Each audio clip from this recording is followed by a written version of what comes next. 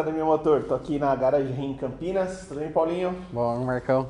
Joia? E aí, você fez algum curso da Academia Motor? Ô, fiz com o Polate e a gente tá pra fazer outro agora de lubrificante. Ô, legal. Por isso que a gente tá aqui, para mostrar os melhores mecânicos do país, a elite dos mecânicos e preparadores.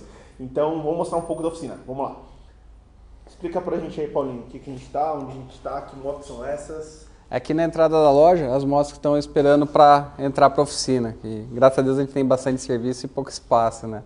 Aí tem uns modelos bem diferentes aqui, né? Tem essa Deluxe, tem um apelo um pouco mais clássico, tudo cromado, mas nem por isso não, não tem um brinquedinho mais forte.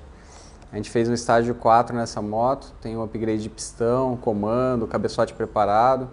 Ela saiu de 60 cavalos para 102, mais ou menos. Sensacional, hein? O dobro? É, quase o dobro, né? Sem turbo. Sem turbo, aspiradinho. É, Aspirado é o mais legal, né? De, de ver o que realmente vem. E essas duas aqui? Aí tem essas duas que são réplicas de CVOs americanas. A CVO é uma linha acima da Harley, como se fosse a MG da Mercedes. É, es- esses dois modelos não vieram para o Brasil. Aí a gente fez a customização para ficar igual. Então essa a gente fez inteira, uma moto zero, e essa é uma CVO mesmo, é, que foi convertida na- nesse modelo americano que não veio para o Brasil.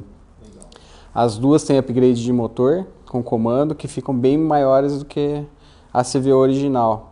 Uma moto dessa original, ela tem 80 cavalos, essa daqui está com 115, com motor 114. Aquela que tem motor 107, 114 polegadas, né? 114 polegadas Então, cúbicas. menos- é, mais ou menos quanto em... Dá 1700 1850 cilindradas. 1.7, mais ou menos. Legal. É, os motores é bem parecido com o motor de Fusca, né?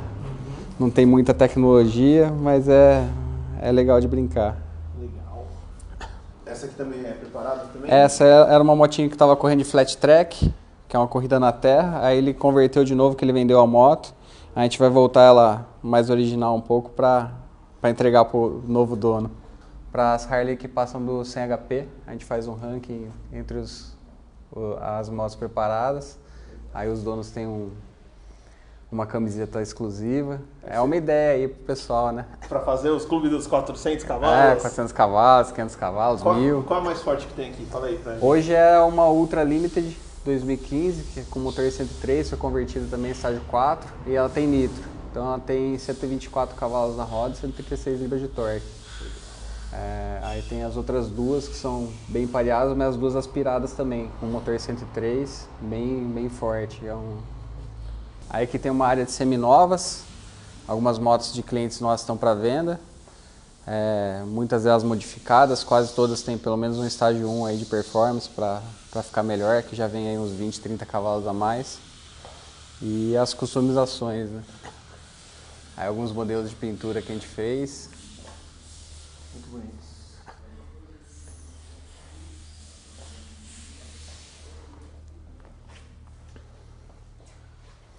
Aqui a sala de espera, a gente tem alguns acessórios à mostra aí pro pessoal. A gente, infelizmente, a gente não consegue tempo de organizar tudo do jeito que a gente queria.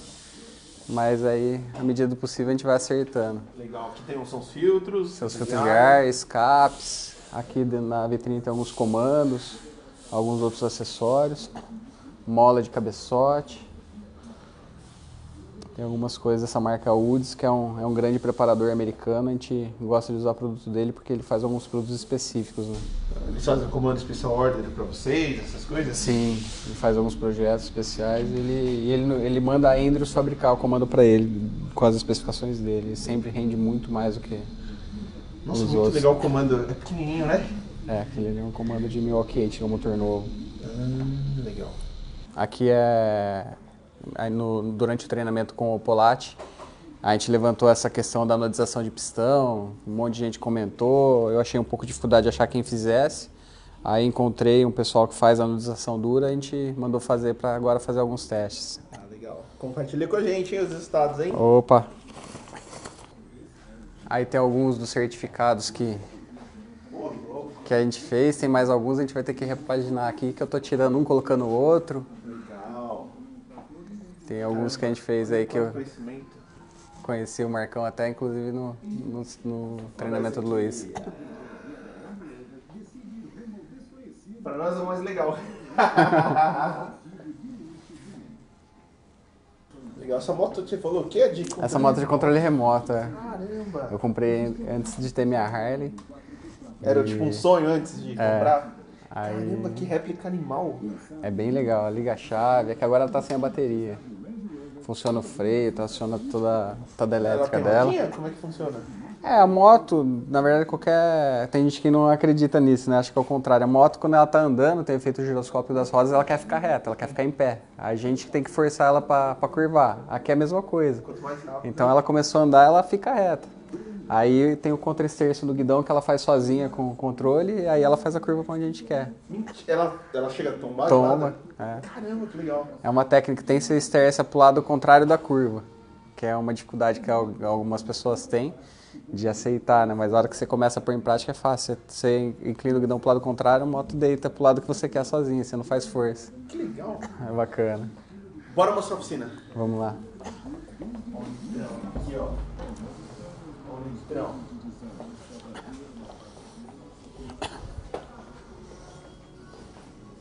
Aqui só não reparar um pouco, a gente está terminando uma reforma aí de, de algum tempo, mas a gente está...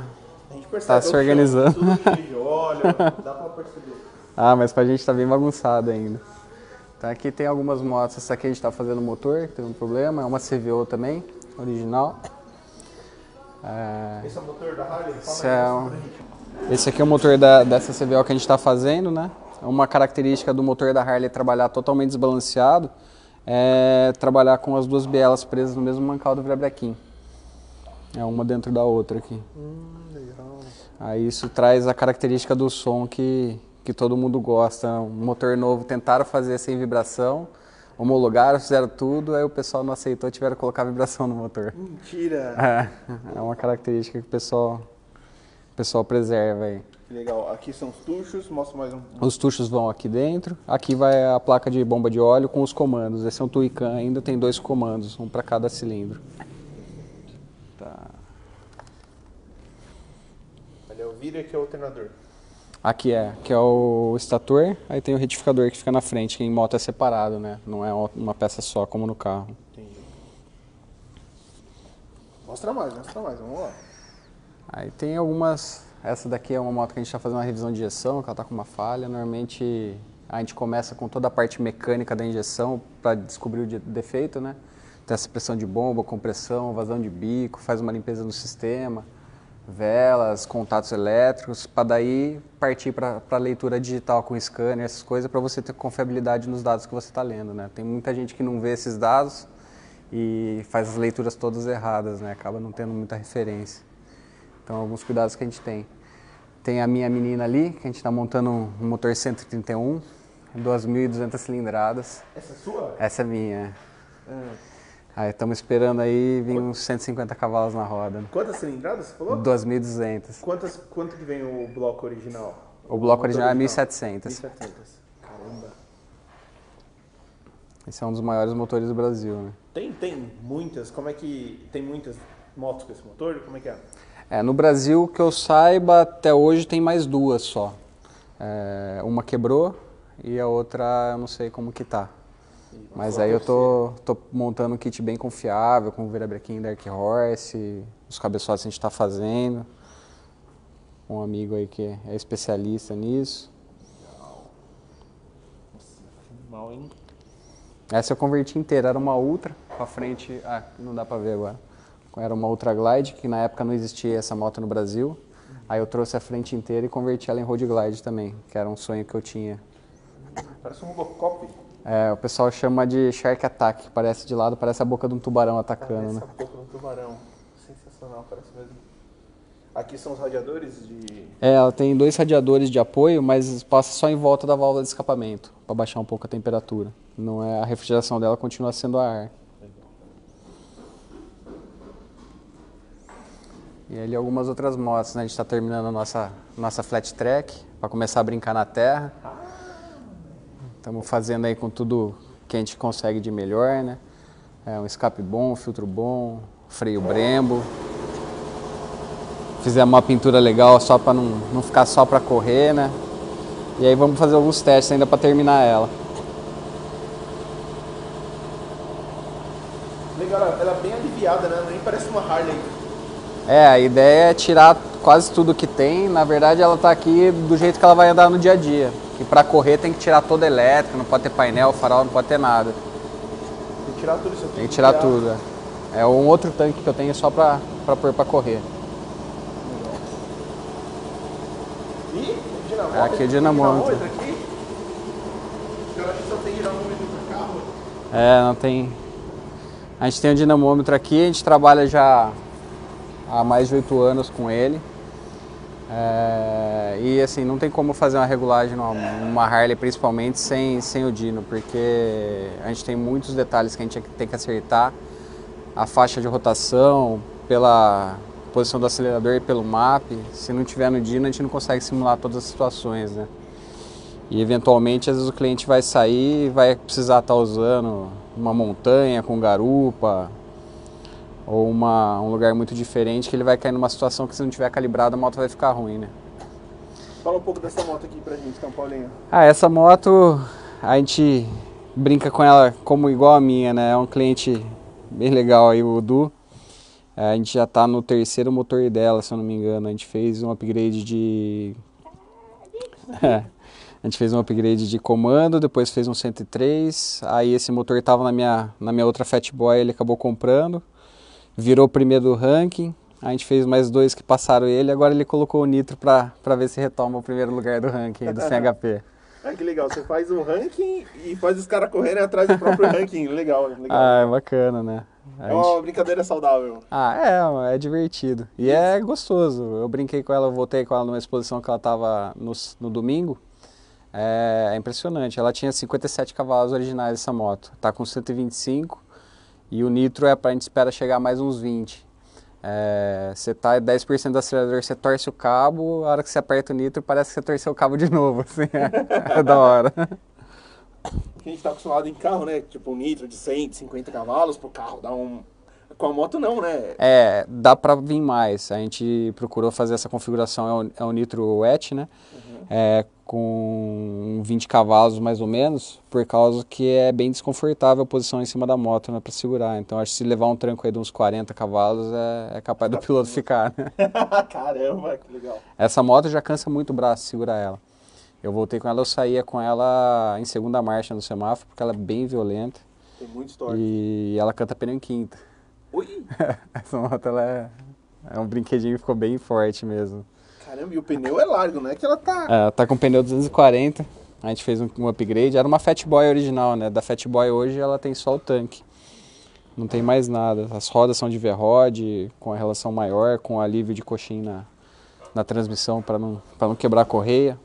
Mas eu quero perguntar para você, como é que é uma moto tão forte com correias? Tem que trocar, tem que fazer alguma adaptação, tem que trocar a relação, é fácil trocar a relação? Conta tudo aí. É, essa a gente fez uma alteração da relação para aliviar um pouco. É, a, a, correia é mais forte em Kevlar. A primeira aqui ele optou por belt drive, que é um, a original é uma corrente, essa aqui é uma correia que fica virando exposta, com embreagem de competição, mas esse é um kit funcional mesmo, é para aguentar a performance. Tanto que a embreagem acopla, você, você leva um tranco. E, e é isso, não tem. Tem gente que opta por corrente, a corrente você tem uma perda menor na transição, né? Na faixa 5% a menos do que na correia. Eu acho que é assim, a, a tanto de manutenção que dá, lubrificar, barulho, eu não sei se compensa muito, assim, eu não, não sou um grande fã do uso de corrente. A correia é, é um mundo aí que você não tem que esquentar a cabeça, não faz barulho, não faz nada e te deixa viver em paz. Valeu, Paulinho. Adoramos a visita. E você, quer, quer aparecer aqui? Faça algum curso da Academia Motor e você está automaticamente qualificado e depois a gente entra em contato com você. Não dá para fazer com todos os alunos por questão de localidade, enfim, e a gente vai trocando ideia.